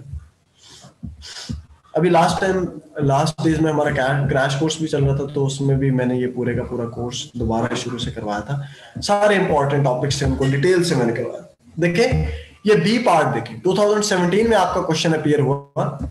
कि it takes it takes Ali 30 minutes to mark a paper Aslam only needs 25 minutes to mark a paper if they both start marking at the same marking at 10 am at what time they will finish marking at the same time ठीक है, ये अब जितने भी question इस तरह के आएँगे, वो आपके जो है एलसीएम के क्वेश्चन होते हैं। ठीक है? अब देखिए, इसको करना कैसे है? ताहिरा मेरी बहन, यहाँ पर ध्यान से देखो, आपको दो टाइम दिए हुए थर्टी मिनट्स दिया हुआ ट्वेंटी फाइव मिनट्स दिया हुआ आप लोगों ने क्या करना होगा डियर स्टूडेंट्स आपने इन दोनों का थर्टी मिनट्स और ट्वेंटी फाइव मिनट्स इनका एल्सियम ले लेना। ठीक है, इनका एल्सियम फाइंड करेंगे। एलसीएम आपके पास आ गया अभी, क्योंकि टाइम कम है, इस वजह से मैं सॉल्व नहीं करा सकता एक क्वेश्चन नहीं तो मैं आप लोगों को सॉल्व करवा के दिखा देता। Thirty minutes and twenty five minutes इनका हमने एल्सियम ले लिया। एल्सियम लेने के बाद आपके पास जो एंड रिज़ल्ट आ गया that is one fifty minutes अब इन वन फिफ्टी मिनट्स को आप किसमें कन्वर्ट करोगे? ऑर्ड्स में कन्वर्ट करोगे। इन वन फिफ्टी मिनट्स को किसमें कन्वर्ट करोगे? ऑर्ड्स में कन्वर्ट करोगे। तो 150 मिनट को ऑर्ड्स में कन्वर्ट करें आपके पास कितना आ गया? 2.5 वॉट्स ठीक है? टू और एंड थर्टी मिनट्स तो ये जो टाइम आया होगा ना आपका, इसको आपने सिंपली क्या करना है? ये जो 10 एम लिखा हुआ है, इसके अंदर ऐड कर देना। दैट्स इट टू और ऐड किए तो 12 पीएम बन गए और 30 मिनट्स ऐड कर पॉइंट क्लियर हो गया? तो ये आपके पास एलसीएम का क्वेश्चन था। ठीक है सिमिलरली एक और क्वेश्चन अपियर होता है 2019 यहाँ पर moist was trying to sleep at one night but there was too much noise around him his clock tick every five second this this this ठीक है? और इस are find how find after how many seconds all three things happened together again. ठीक है how many seconds? ठीक है together again. Again वही बात है together again. Simultaneously, same time, together. तो ये जितने भी आपके वर्ड्स हैं ये रिप्रेजेंट किसको करते हैं मैं दोबारा बता नहीं ये रिप्रेजेंट किसको करते हैं ये रिप्रेजेंट करते हैं आपका ये क्वेश्चन एलसीएम का ठीक है तो आप यहाँ पर क्या करेंगे? फाइव सेवन एंड ट्वेल्व इनका एलसीएम लेंगे। ठीक है, और आपके पास सेकेंड आ जाएँगे। ठीक है that is four twenty second आ जाते हैं। ठीक है, आपके पास कितना आ जाता है? फोर ट्वेंटी सेकेंड आ जाते हैं। तो फोर ट्वेंटी सेकेंड्स को अगर मिनट में कन्वर्ट करना हो तो सेवन मिनट्स आ जाएँगे। जैसे इस क्वेश्चन में आपसे टाइम डिमांड नहीं किया गया। मगर अगर टाइम डिमांड किया गया तो अगर टाइम डिमांड कर लिया जाता, कि किस टाइम पर ये सारे की सारी चीज़ें इकट्ठी होंगी दोबारा? टुगेदर अगेन किस टाइम पर? टाइम डिमांड कर लिया तो आपके पास क्योंकि सेवन मिनट्स है, और ये कब से स्टार्ट होती है? He noticed on his clock that all three things happen together on the stroke of midnight midnight means 12 बजे। ठीक है? रात के 12 बजे। तो 12 बज के सात मिनट आपका हाथ से। पॉइंट क्लियर हो गया? तो ये कुछ क्वेश्चन थे, जो कि आप लोगों ने कहा था, मुझे बता, हमें बता दे। तो मैंने आप लोगों को बता दिया अगेन आप लोग ने कोशिश यही करनी है कि मैथ्स मैथ्स में जो है number one linear equations number two LCM. Number three partnership investment related questions. Number four number four compound ratio ये मैं लिखवाना भूल गया था आप लोगों को, ठीक है नंबर फाइव सेंट्रल टेंडेंसी ठीक है जिसमें मीन मीडियन मॉड और अगर वहाँ से अगर उसने ग्रुप डाटा दिया तो आपको लाजमी हिस्टोग्राम और पिक्टोग्राम ड्रॉ करने को या डिफरेंस उनके दरमियान पूछेगा आपसे। नेक्स्ट आप लोगों के पास जो है एक और चीज़ that is set theory union intersection या वेन डायग्राम ठीक है? And finally and the last one is analytical approach ठीक है? ये आपके इंपॉर्टेंट एरियाज़ हैं मैथ्स के लिहाज ये मैंने आप लोगों को बता दिया जी। Any question till now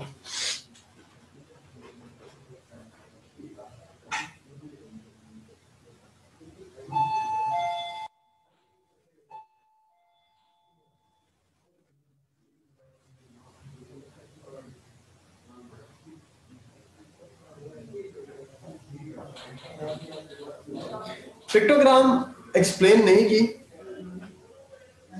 Sajjad हम सेट थ्योरी के क्वेश्चन एग्जांपल देख लेते हैं।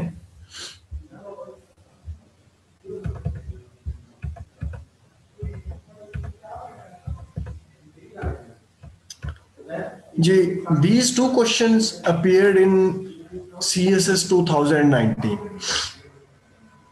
आप लोगों की स्क्रीन पर आप लोगों को आई होप नज़र आ रहे होंगे।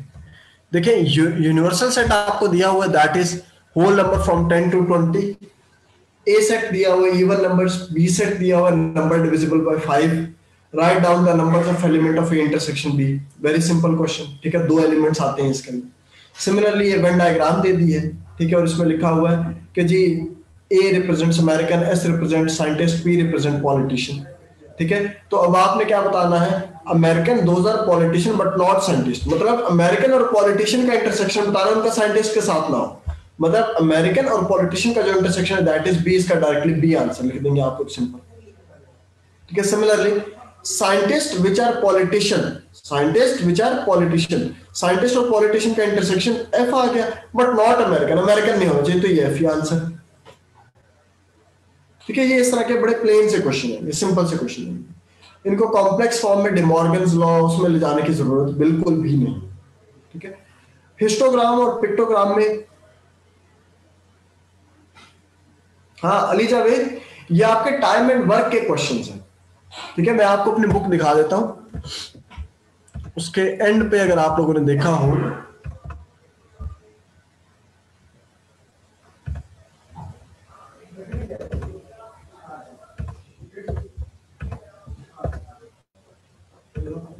जी, ये देखें, ये वाले क्वेश्चंस हैं। टाइम एंड वर्क के। A can do a piece of work in 30 days while B can do it in 40 days in how many days A and B working together do it ठीक है? ये आपके जो question है, ये सारे के सारे टाइम एंड वर्क के क्वेश्चन जिसमें हम अली जावेद अगर आपको याद हो, अगर आपने क्वेश्चंस किए थे तो प्रोडक्टिविटी निकालते हैं। Productivity of A plus productivity of B is equal to productivity of A plus B ठीक है? इसका सोल्यूशन भी मैंने आप लोगों के ग्रुप में शेयर किया। ये दस क्वेश्चन है और ये मैक्सिमम ये वो डिफ़िकल्ट क्वेश्चन है जिनके बाहर से आज तक पेपर में क्वेश्चन नहीं पूछा जा सकता। ये इन क्वेश्चंस को अगर आप अच्छी तरीके से कर लेते हैं तो टाइम एंड वर्क का कोई क्वेश्चन आ जाए तो आप कभी गलत नहीं करते हैं। ठीक है? इनके अंदर वो सारे के सारे कॉन्सेप्ट ठीक है? कभी कान को एक साइड से पकड़ा है, कभी कान को दूसरी साइड से पकड़ा है। ठीक है? आंसर बेशक आपका सेम है ठीक है?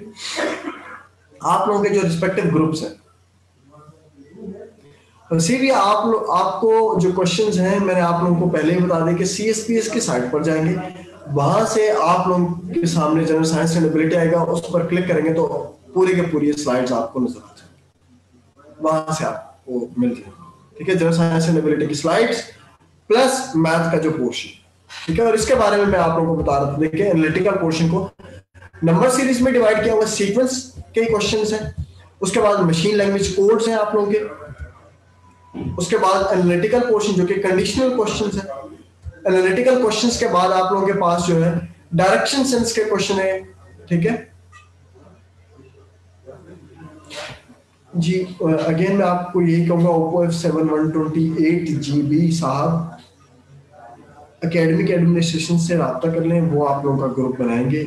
आई होप उन्होंने मुझे कहा था तो आप लोग उनसे डायरेक्टली रहा कर लें। तो आप लोग का ग्रुप बना देंगे उसमें जो भी मटेरियल होगा, इंशाल्लाह आप साथ साथ शेयर करेंगे ठीक है? तो ये एंड में आप लोगों के पास डायरेक्शन सेंस के क्वेश्चन है। ठीक है? इन क्वेश्चन को अच्छे तरीके से सॉल्व करें। ठीक है? ट्वेंटी ट्वेंटी वन वालों के लिए आखिरी आखिरी दिन है। इनको अच्छे तरीके से कर लें। आई होप अल्लाह खैर खैरियत से आप लोगों को कामयाब करें। ठीक है? और मेरी दुआ है कि जो जो आप लोग इस वीडियो को देख रहे हैं या जो जो आप लोग इस लेक्चर को सुन रहे हैं, आप सब लोग कामयाब होंगे, ठीक है? और अगर मेरे लाइक कोई खिदमत हो, कोई चीज़ ना समझ आए तो kindly feel free to contact any time ठीक है? इंशाल्लाह आई रिस्पॉन्ड बेशक लेट हो जाता है थोड़ा सा मगर मैं रिस्पॉन्ड कर देता हूँ, ठीक है?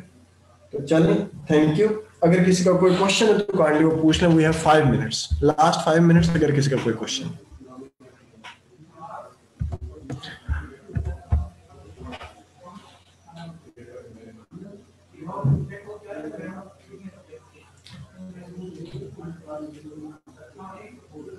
मुझे पाँच मिनट में मैं एडमिनिस्ट्रेशन को फॉरवर्ड करता हूँ, वो आप लोगों को फर्दर गाइड कर देते हैं कि कैसे, किस तरह लेक्चर्स को एक्सेस करना है और क्या चीज़ किस तरह। अच्छा एमसीक्यूज के बारे में सुहेल ने मुझसे पूछा, सुहेल, पाक एमसीक्यूज को फॉलो करो बेस्ट साइट है, वहाँ पर आपको एमसीक्यूज नज़र आ जाएँगे और उसमें से भी कुछ एरियाज़ एक्सक्लूडेड है। सारे के सारे एमसीक्यूज आपने अमार नहीं करने हैं, कुछ एरियाज़ एक्सक्लूडेड है। उन एक्सक्लूडेड एरिया को हम निकाल देंगे। ठीक है? सिर्फ़ ये देखो कि मेरे कोर्स के लिहाज से कौन से इंपॉर्टेंट और उनको अच्छे तरीके से कर। ठीक है? अमार एम आई क्लियर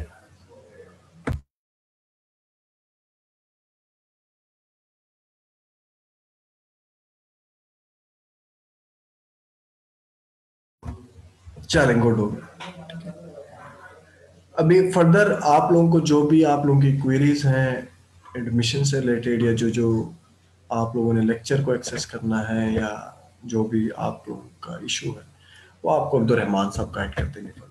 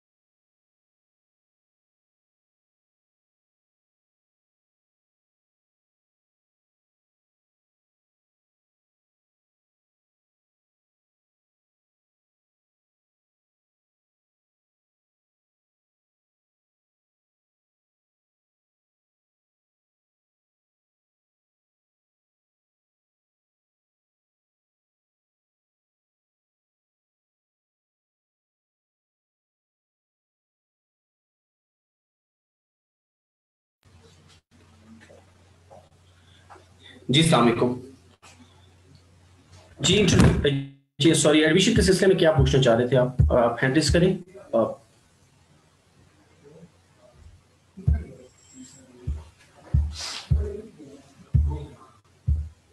अच्छा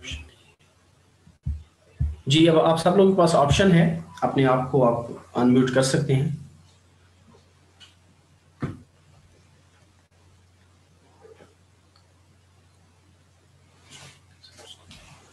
हेलो जी देखिए किसी का कोई क्वेश्चन है तो आप पूछ सकते हैं फिर हम इस मीटिंग को कंक्लूड करने लगे जी आप अकरम। सर uh, जो सर का अभी लेक्चर था इसको हम कैसे एक्सेस कर सकते हैं? एक्चुअली नेटवर्क डाउन था तो वो हम सुन नहीं पाए। ये हमारा फेसबुक पेज पे लाइव चल रहा है वहाँ से आप देख सकते हैं इसको जी सर। थैंक यू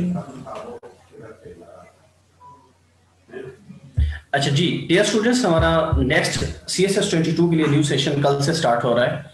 इसका ड्यूरेशन फोर मंथ्स होगा। ऑन कैंपस क्लासेस होंगी। हमारा campus G ten workers Islamabad में है। आपके जो दोस्त, कोई भी रिलेटिव्स हैं जो इसमें इंटरेस्टेड हों, आप उनको ज़रूर रिकमेंड करें। हम उनको बेहतरीन कोचिंग देंगे। हमारे फ्री क्लास टेस्ट और मॉक एग्ज़ाम होते हैं। हम स्टूडेंट को इंडिविजुअली कोचिंग देते हैं। और हर स्टूडेंट के ऊपर हमारा इंडिविजुअल फोकस होता है। इनशाला जब आप आएँगे तो आपको बहुत खुशी होगी, हम आपको बहुत अच्छा पढ़ाएँगे। थैंक यू सो मच किसी का कोई क्वेश्चन हो तो आपके पास अकेडमी का नंबर है, आप हमसे कोऑर्डिनेट कर सकते हैं। मैं इधर चैट में भी नंबर लिखने लगा हूँ।